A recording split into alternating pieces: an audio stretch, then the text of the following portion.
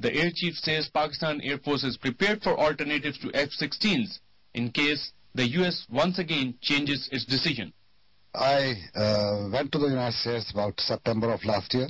This was one of the major issues that I discussed with not only the military but the political leadership in the Congress.